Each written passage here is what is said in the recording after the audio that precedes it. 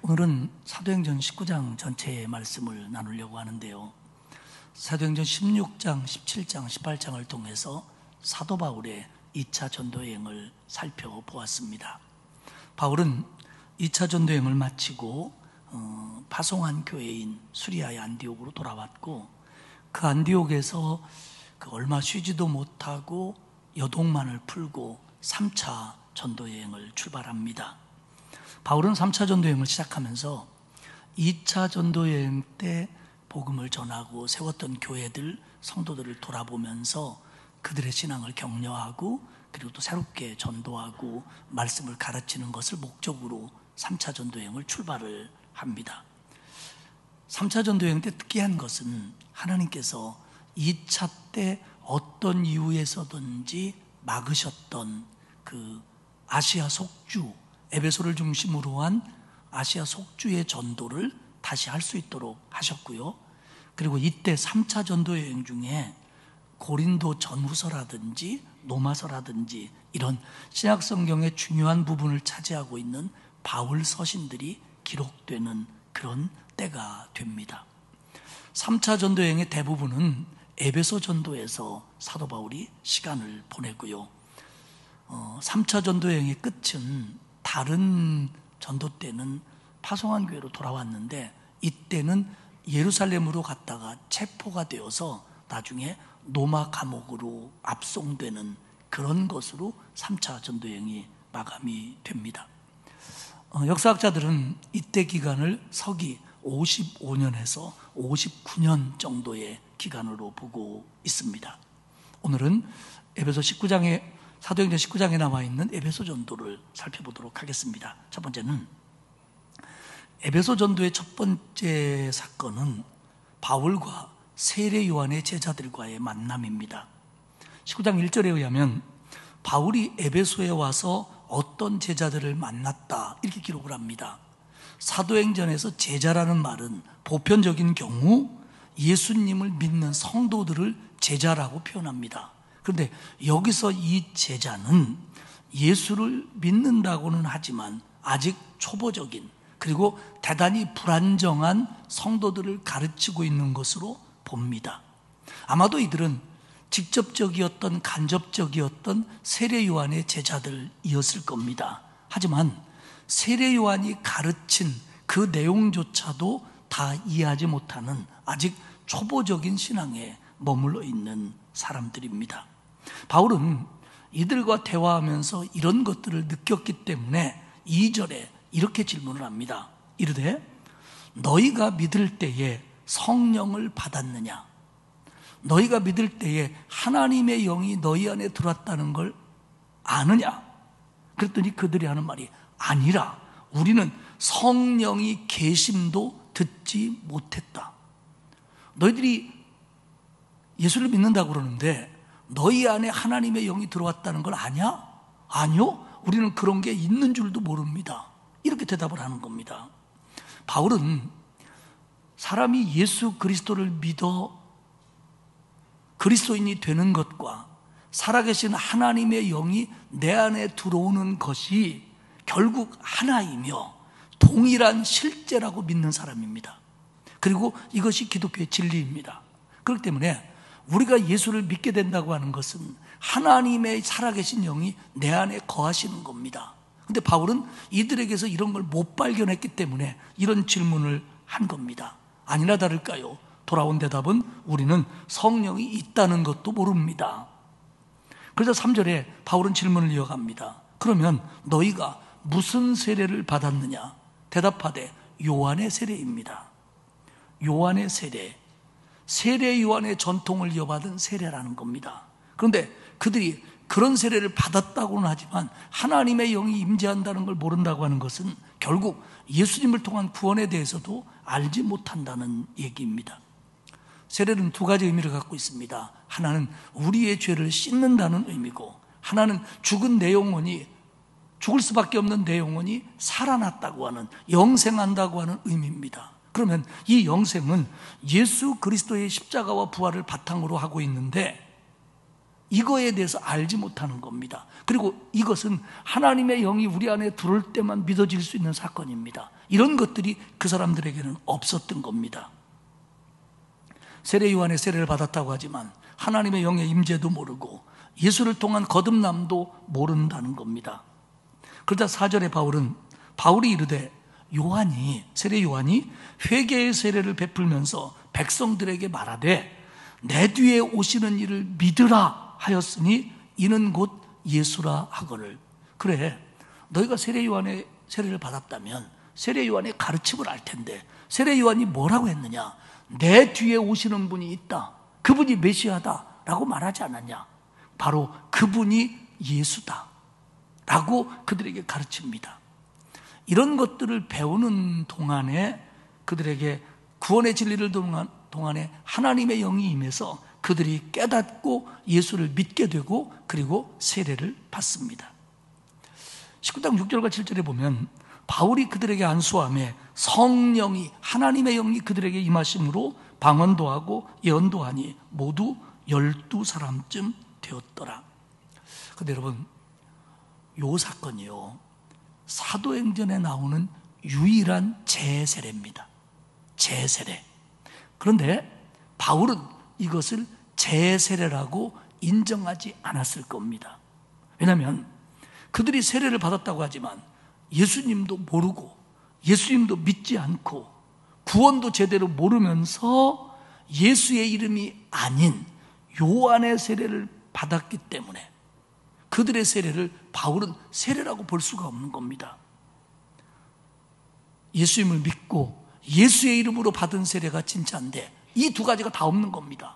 그렇기 때문에 바울은 이 세례를 인정하지 않았을 뿐더러 그들은 예수의 이름으로 세례를 받고 하나님의 영이 임하는 그런 경험을 하게 됩니다. 가끔 세례식을 준비하면서 이제 세례 교육을 하거나 혹은 세례 받을 분들을 이렇게 신청을 받을 때가 있습니다. 그런데 가끔 이런 성도들이 있어요. 목사님, 제가 세례를 받긴 받았는데요. 학생 때 잘 모르고 미션 스쿨 다니다가 혹은 군대에서 얼떨결에 세례를 받았습니다. 그때는 믿음 없이 받았으니까 이제 내가 믿음이 생겼으니까 다시 받으면 안 될까요? 그러는 분들이 있어요. 다시 안 받아도 됩니다. 그때 내가 믿음이 없이 받았습니다.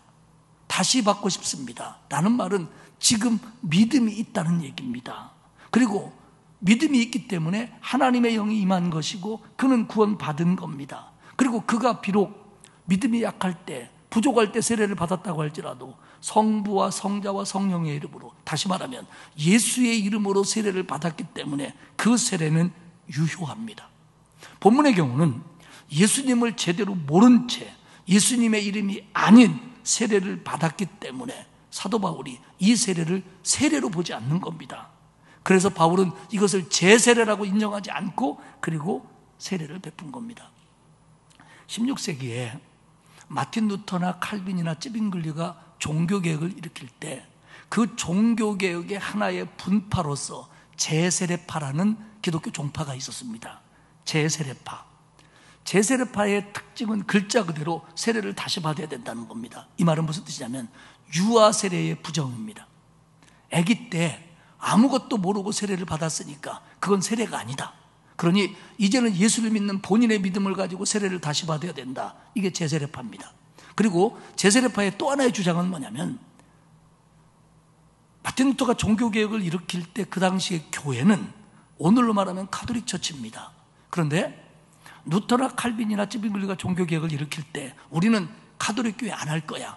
니네하고 우리하고 달라 갈라서 이렇게 종교개혁을 일으킨 게 아니고 가톨릭 교회가 현재 성서적으로 위반되는 일들을 하고 있고 교회가 해서는 안 될 모습들을 가지고 있으니까 이거 고칩시다. 우리 성경에 비추어 봐서 어떤 게 옳은지 하나님이 원하는 교회로 돌아갑시다. 이게 종교개혁의 취지 아닙니까?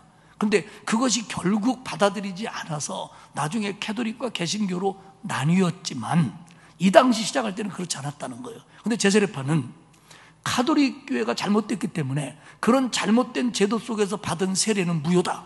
그러니까 유아 세례가 아닌 어른 세례를 받은 사람도 다 다시 받아야 된다는 거예요. 이게 제세례파의 주장이었습니다.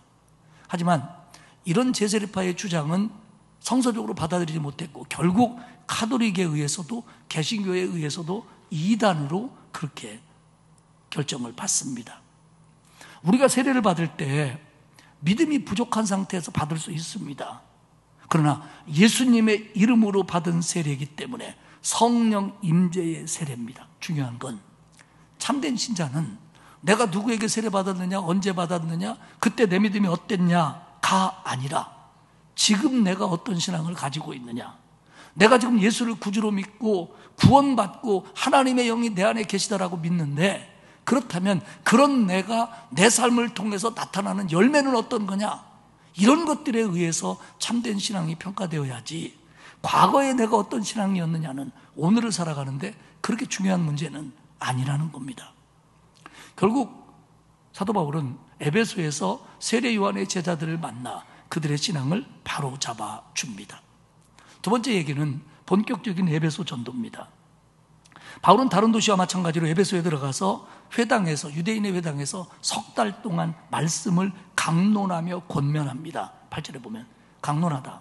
회당에 다니는 사람들이니까 구약적인 배경을 가지고 있었고 그 배경을 그 바탕을 배경으로 해서 여기서 말하는 메시아가 예수 그리스도다 가르쳤고 그리고 그들에게 예수를 믿으라고 권면하고 이야기했습니다. 근데 그들의 반응은 구절에 보면 어떤 사람들은 다 그런 건 아니지만 어떤 사람들은 마음이 굳어 순종하지 않고 무리 앞에서 도를 비방하거늘 바울이 그들을 떠나 제자들을 따로 세우고 두란노 서원에서 날마다 강론하니라. 회당 안의 유대인들이 마음문을 닫아버리고 그 말씀에 반항하고 가르침에 순종하지 않고 바울을 비방합니다. 그 가르치는 순수한 의도를 왜곡하고 바울의 인격을 손상하며 그리고 나쁜 말로 비방합니다. 그러자 바울은 회당에서 더 이상 있을 수가 없어 나와서 에베소에 있는 두란노 서원이라는 곳에 가서 말씀을 가리킵니다. 두란노 서원. 우리 기독교인들은 우리나라에 두란노 서원이라는 기독교 출판사가 있기 때문에 다 뒤에 이것을 겁니다. 두란노 서원. 두란노는 사람 이름일 겁니다. 그 서원의 집주인이거나 건물주인이거나 아니면 그 서원의 주 강사였을 겁니다. 그리고 서원은 건물, 강의실을 의미합니다. 이 당시에 에베소는 헬라 철학이 완전히 지배하고 있었기 때문에 누구에게 강의를 듣고 토론하고 하는 것을 좋아했습니다. 그래서 이 두란노 서원이 비록 개인의 것이었다고 할지라도 공공적인 강의 장소의 의미를 갖고 있습니다. 그래서 거기서 누군가가 강의하고 사람들이 와서 강의 듣고 하는 이런 것들을 좋아했는데 사도 바울이 무려 2년 동안이나 방해 없이 거기서 말씀을 전하고 성경을 가르치고 복음을 전할 수 있는 기회를 얻습니다. 이건요, 놀라운 일입니다. 지금까지 바울이 어느 도시에 가서 복음을 전할 때 이런 일이 없었습니다. 그래서 10절에 보면 두 해 동안, 2년 동안 이렇게 하니 아시아에 사는 유대인이나 헬라인이 다 주의 말씀을 듣더라.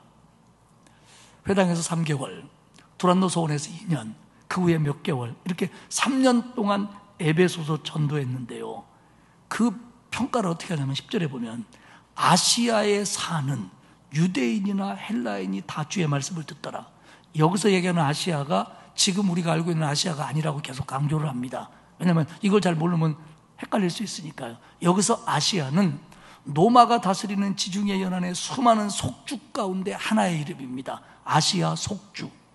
그 속주의 주도가 에베소였고, 그러니까 지중해, 특히 그리스와 터키 바다인 에게해를 중심으로 한 터키 서쪽의 지역들이 그 당시 노마의 아시아 속주입니다.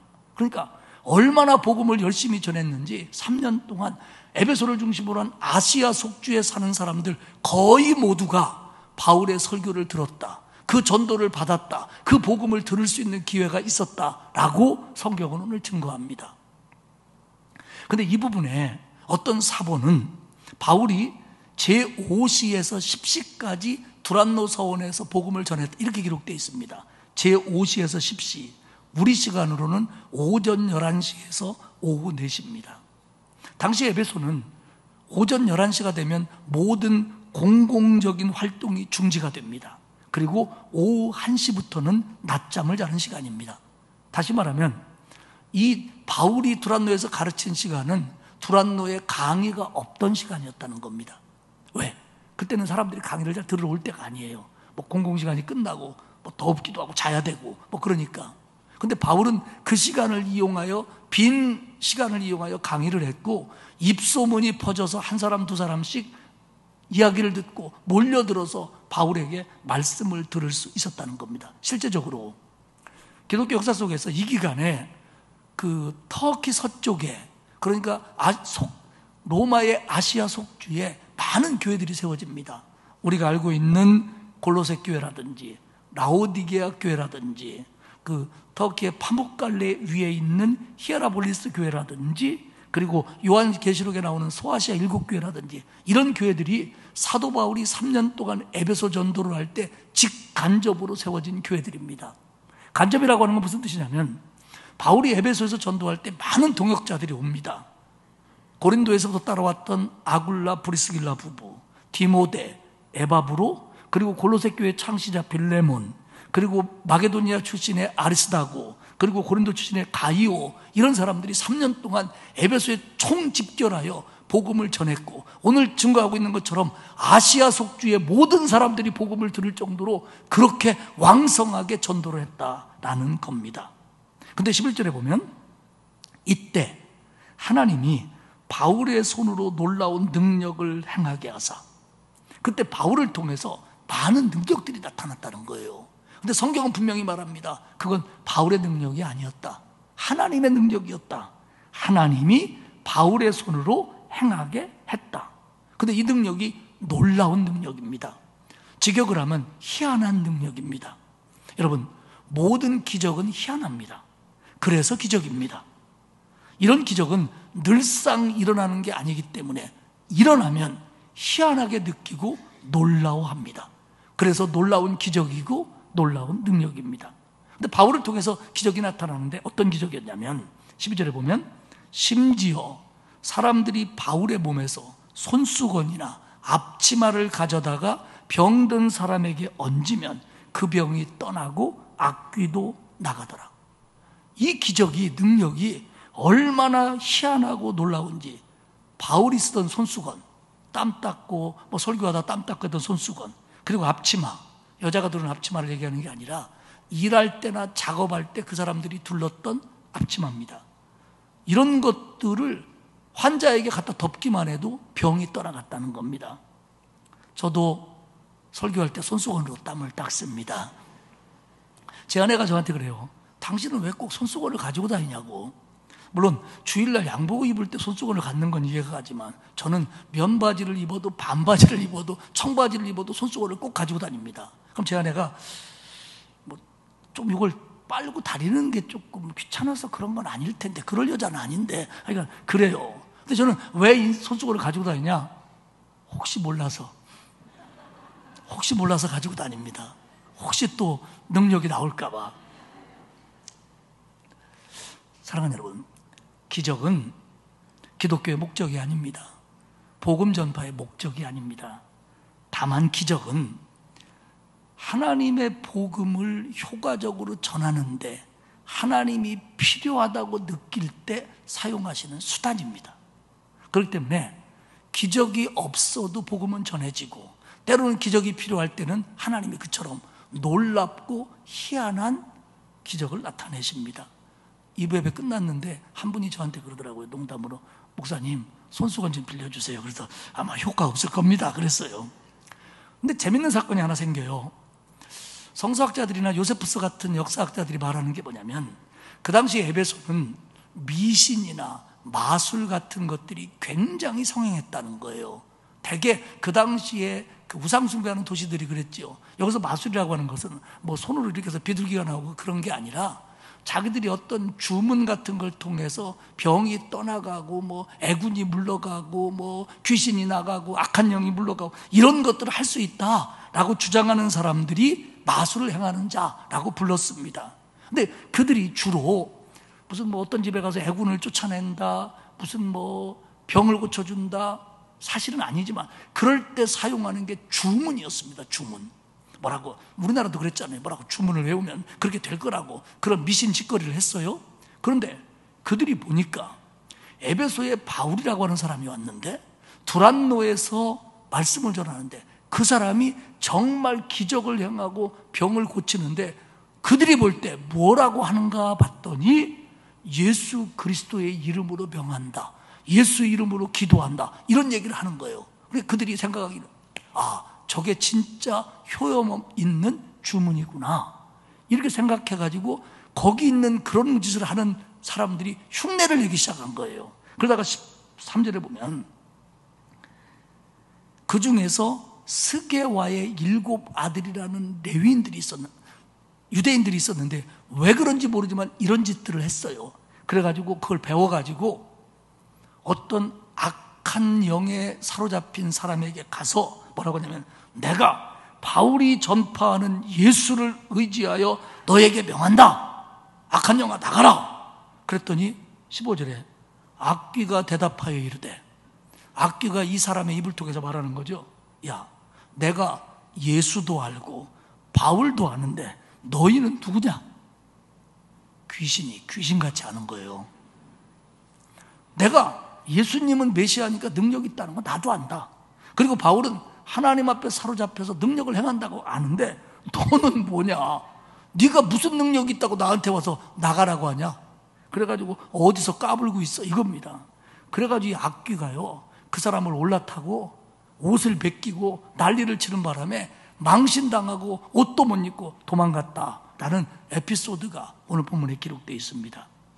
이 일이 있은 후에 바울이 그렇게 복음을 열심히 전하고 하나님의 능력이 나타나고 많은 사람들이 이걸 알게 되자 17절에 에베소에 사는 유대인과 헬라인들이 다 이 일을 알고 두려워하여 주 예수의 이름을 높이고 그 얘기를 들으니까 이제 겁이 나는 거예요.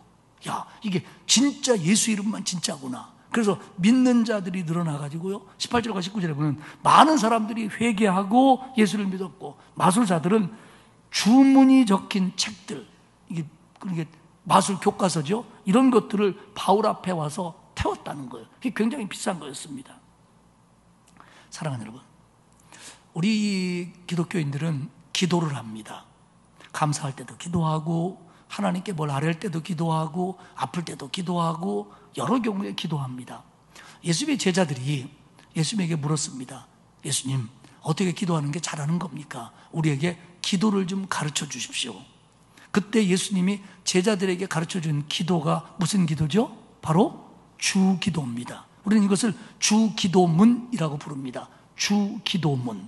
근데 기도라는 건 하나님과 바른 관계 속에서 바른 믿음을 가지고 하나님의 능력을 의지하여 진심으로 내 것을 하나님 앞에 아뢰는 게 기도인데 주 기도문에서 주 기도문에서 기도가 빠지면 주문만 남습니다.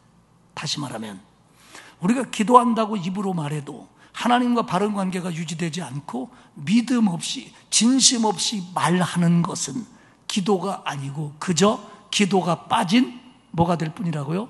주문이 될 뿐이라는 거죠. 그 주문은 아무리 예수의 이름을 들먹여도 효과가 없다는 것이 에베소에서 증명이 됩니다. 20절에 보면 이와 같이 주의 말씀이 힘이 있어 흥왕하여 세력을 얻으니라. 말씀이 흥왕했다. 믿는 자들이 늘어났다는 겁니다. 말씀이 세력을 얻었다. 말씀을 통해 능력이 나타났다. 그런데 이런 성장과 영향력이 나타날 수 있었던 것은 바로 주의 힘 때문이었다. 예수님의 힘 때문이었다. 하나님의 힘 때문이었다 라고 이야기를 합니다. 이렇게 에베소 전도가 마무리됐으면 얼마나 좋았겠어요. 그런데 예외 없이 에베소에서도 폭동이 일어납니다. 세 번째 얘기입니다. 에베소도 어떤 폭동이 일어났냐면 에베소 사람들이 바울과 바울의 동료들을 끌고 에베소에 있는 원형극장으로 끌고 가서 거기서 해하려고 하는 폭동이 일어납니다. 다행히 바울은 제자들이 이것을 알고 만류함으로써 그곳에 가지 않아서 거기까지 끌려가지는 않습니다만은 바울의 동료였던 마게도니아 출신의 가이오와 아리스다고가 거기에 끌려가서 봉변을 당할 뻔합니다. 근데 왜 일어났냐면요. 그 당시 에베소가 계속 말씀드리지만 노마의 아시아주 주도였습니다. 그 당시에 인구 30만의 굉장히 큰 도시예요. 지금도 에베소 유적을 보면 아직도 다 발굴되지 않았는데도 불구하고 굉장히 로마 시대의 유적과 많은 것들이 남아 있는 거대한 지역입니다. 근데 여기가 상업도시입니다. 그리고 주변 종교의 중심 도시입니다. 그리고 이 에베소가 여러 개의 신상들을 섬기고 우상들을 섬겼는데 가장 에베소의 주신으로 믿는 게 아데미 여신이었습니다. 풍요를 주는 신이에요. 근데 이 아데미 신전이 에베소에서 발굴이 됐습니다. 근데 이 신전이 얼마나 크냐면 아테네에 있는 파르테논 신전보다 4배가 커서요. 폭이 68m고 발굴된 게요. 길이가 130m입니다. 한번 생각해 보세요. 신전이 68m에 130m면 얼마나 큰 신전입니까? 그리고 거기에 높이 20m가 되는 이런 돌기둥들이 127개가 세워져 있었다는 거예요. 발굴의 근거로. 지금은 뭐 몇 개 남아있지 않습니다만은 이것이 이 에베소의 아데미 신전이 고대 7대 불가사의 중에 하나입니다. 그렇게 대단한 신전입니다. 근데 문제는 이 신전을 통해서 신전으로 제사 드리러 오는 사람들이 많고 구경 오는 사람들이 많고 하다 보니까 에베소는 사람이 들끓어요. 그리고 이걸로 인해서 신전 수입이 짭짤했고요. 여관, 식당, 시장, 가게 다 잘 됐습니다. 근데 특히 잘 되는 곳이 있었어요. 그게 어디냐? 기념품 가게입니다. 우리말로 기념품 가게지 그들은 우상을 숭배하기 때문에 아데미 신전을 형상화한 혹은 아데미 신을 신상을 조각한 이런 조그만한 것들을 사서 지니고 다니거나 집에 두거나 가게에 두거나 이러면 복을 받는다고 생각해 가지고 이런 것들이 굉장히 잘 팔렸고 아데미 신과 관계된 것들로 인해서 에베소는 많은 부들을 축적할 수 있었습니다. 실제적으로 에베소 발굴에서 나무로 된 아데미 신상이나 대리석으로 만든 아데미 신전의 모형 것들이 발굴이 됐습니다. 폴 힐이라고 하는 신학자는 이렇게 얘기해요.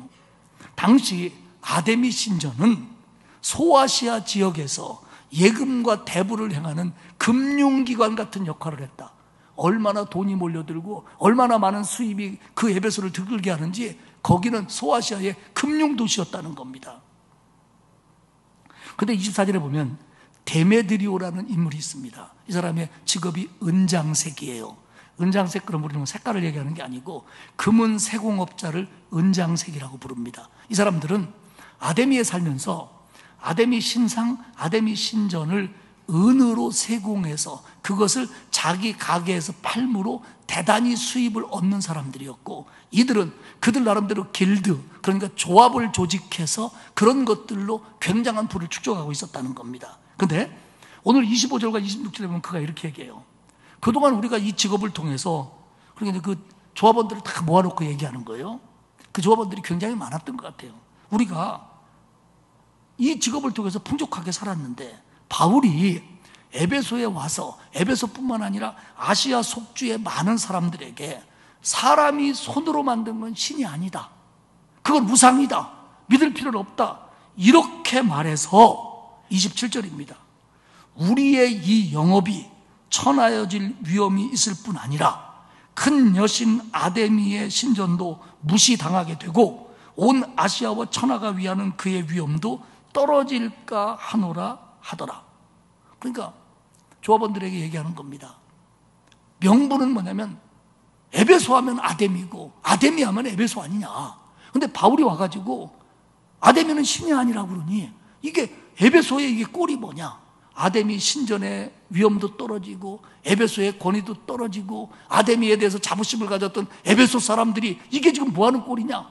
이렇게 지금 선동을 하는 겁니다. 근데 속은 뭐냐면 수입이 줄어들어서 이러다가 이제 우리는 이 장사 못 해먹는 거 아니냐? 이런 것들이 발로가 되어서 은장색들 조합을 중심으로 도시를 소동시키는 겁니다. 사람들이 들어보니까 바울이 에베소를 엉망으로 만든데 우리 아데미는 이제 끝이래. 이러면 우리 에베소는 어떻게 되는 거야? 이러니까 그 군중 심리에 의해서 그들은 막 몰린 거예요. 그러면서 뭐라고 하냐면 34절에 보면 에베소 사람의 아데미는 위대하다. 아데미는 위대하다. 그 원형극장으로 가가지고 3시간 동안을 2시간 동안을 그렇게 외쳤다는 겁니다. 에베소의 원형극장이 지금도 거의 제 모습을 가지고 있는데요. 2만 5천 명을 수용할 수 있는 극장입니다. 원형 경기장이. 그렇게 발달했던 도시예요. 거기로 끌고 가가지고 금방 난리를 칠 것처럼 막 그러는 거예요. 폭동의 불미스러운 결과로 이들이 어떻게 될 것만 같은 일촉즉발의 시간에 에베소의 서기장이 이 일에 개입합니다. 당시 서기장은 도시의 최고 행정 책임자입니다. 그리고 시민총회 의장이에요. 그리고 그 원형 경기장에서는 공연뿐만 아니라 시민총회도 열리는 곳입니다. 그가 얘기합니다. 지정하시라고. 우리 에베소 사람들과 아데미가 얼마나 위대하다는 거 우리 다 압니다. 다 압니다.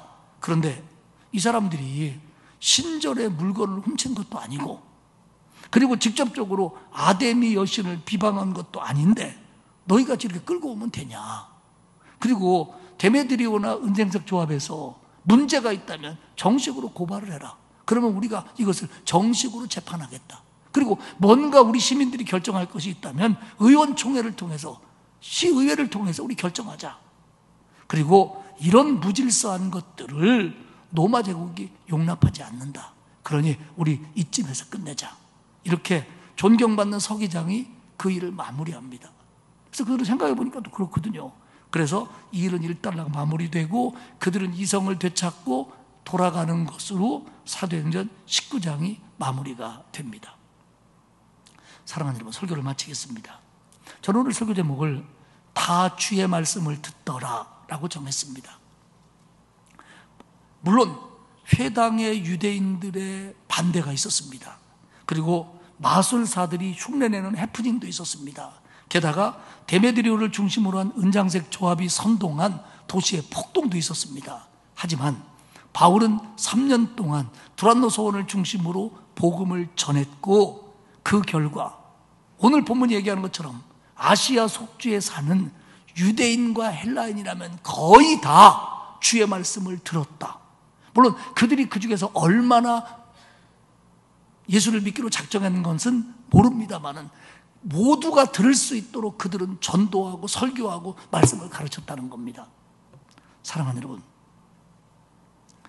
그리스도인은 처음에 내가 예수를 믿고 구원받으면 내가 하나님을 알게 되고 구원받게 된 것에 대해서 감사합니다. 그러면서 깨닫기 시작합니다. 아, 이게 나 혼자만 누릴 축복이 아니구나. 그러니 내 가족, 내 이웃, 내가 사랑하는 사람들에게 전도해서 그들도 이 땅에서 구원받고 천국을 소망하며 살 수 있는 사람이 되게 하자. 이게 우리 모두가 갖고 있는 사명입니다. 그래서 젊은 부부들이 아기를 낳으면 그 아이들이 교회 학교를 보내고 또 뭐 초등학교 고학년이나 중학생이 되면 막 교회 안 가려고 하는데도 보내는 게 교회 가면 애들이 착해져서 보내는 게 아니라 여러분 교회 다니다가 안 착해진 애들도 있어요.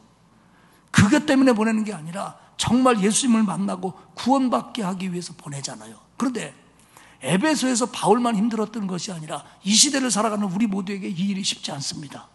누군가를 전도하고 예수 믿게 하고 내 자식을 신앙으로 기르고 교회에서 말씀을 가르쳐서 믿음 없는 아이들이 믿음 약한 신자들이 성숙한 신앙이 된다는 거 이거 쉬운 일 아닙니다. 그러나 이건 우리가 해야 될 일입니다. 그리고 바울은 이 사명을 가지고 했고 하나님이 도와주시어서 얼마나 열심히 했는지 에베소에 몰려드는 아시아 속주의 모든 사람들이 다 들을 정도였다. 그렇게 우리 성경은 얘기하지 않습니까? 이렇게 열심히 할 때 하나님이 도와주셔서 그들의 마음을 움직여서 에베소에 많은 교회가 세워지고 주변에 많은 교회들이 세워지고 그리고 많은 사람들이 복음을 듣고 구원받고 예수님을 알게 됐다는 겁니다. 사랑하는 여러분, 우리는 코로나 시대를 살면서 요즘 나 혼자 교회 가기도 쉽지 않은 시대를 삽니다. 뭐 헌신, 전도, 아, 이런 거 지금 뭐 그런 거 할 때가 아니지. 지금 뭐 이때 날에도 근데 여러분, 그러나 우리는 지금도 일은 해야 될 때입니다. 이거는 사도 바울 같이 목숨 걸고 했던 일입니다. 우리는 지금 힘은 들어도 목숨까지는 안 걸어도 되잖아요. 사랑하는 여러분, 그들이 애쓸 때 하나님이 도와주시고 능력이 나타나고 수많은 사람들이 복음을 듣고 교회가 세워지고 구원받는 사람이 늘어나고 이게 하나님이 기뻐하시는 모습이고 그 일에 마음 쓰고 기도한 자들에게 하나님은 응답하시고 복을 주십니다. 우리 교회가 저와 여러분이 이 일에 다시 한번 사명을 느끼고 그리고 열심을 다해 최선을 다하는 그래서 하나님 앞에 더 큰 은혜와 복을 누리는 그런 교회, 그런 성도들이 되시기를 주님의 이름으로 축복합니다. 하나님 고맙습니다. 하나님을 모른 채 이 세상에 살다가 영원한 형벌에 처해질 수밖에 없는 저희들이었는데 우리 주님 내게 찾아오시어서 예수 믿고 구원받아 하나님의 자녀 되게 하신 거 고맙습니다. 이 은혜가 너무 크기에 내 안에만 머무르게 할 수 없어 바울 같은 이는 목숨을 걸고 복음을 전했던 것을 오늘 저희가 말씀으로 배웠습니다. 얼마나 열심히였는지, 얼마나 최선을 다했는지, 그 도시에 방문했던 많은 사람들이, 그 도시 주변 사람들이 거의 다 복음을 들었다.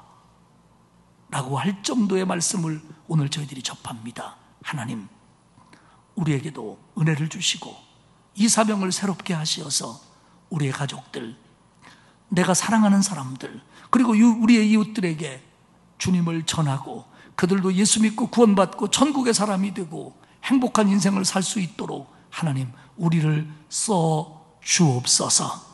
우리 교회에 나오는 모든 성도들이 구원받고 믿음이 자라나 하나님이 주시는 축복을 누리는 복된 교회가 되게 하옵소서.